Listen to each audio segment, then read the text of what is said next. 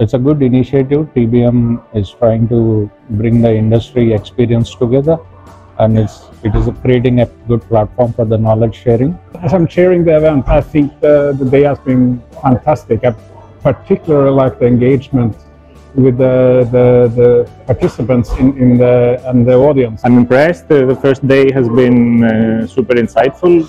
Um, it's been very interesting for me to hear a lot from our customers uh, and get a much wider perspective on the issues that they face and the topics that they're working on. First uh, year you have a high concentration of uh, uh, well high-level managers that are involved in, uh, as I was saying, in asset management or uh, in in in this area of monitoring, which is not very frequent to find. So so that's that's obviously very interesting.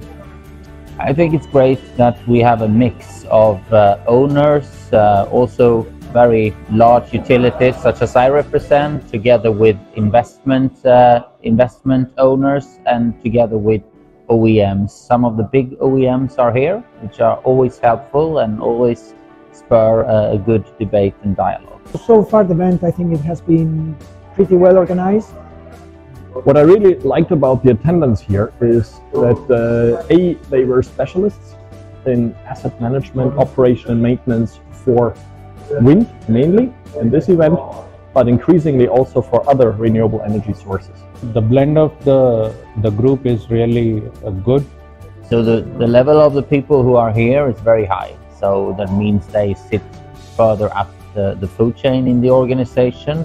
We always look for quality of attendance and I am definitely um, really happy with the people that I have met here today. As a highlight for the event I will say that it's not just uh, about the presentations but also the networking part and I had the opportunity already to have uh, really interesting discussions with at least five different people for different organizations. The TBM uh, event is really excellent. I mean, firstly, it's well run. Uh, the topics selected are uh, very up to date with the current issues that we're facing. As I said, it's it's been uh, insightful and something that I'd like to keep an engagement and to see the future years, the, the agendas. I have met a lot of people that are very knowledgeable and very nice, and some of those connections I will use in the coming weeks and months. I would say this is a specialist boutique event. A good opportunity to discuss, to network, particularly in a post-COVID environment.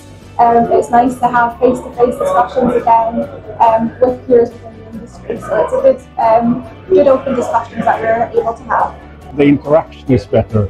Uh, that, that is something I really value in, in, in this, uh, this conference.